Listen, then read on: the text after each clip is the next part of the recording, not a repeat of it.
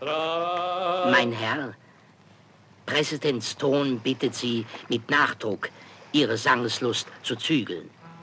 Ich singe aber so gern. Sie verscheuchen damit die Fische. Ihre vielleicht. Meine stecken den Kopf aus dem Wasser, damit sie besser hören können.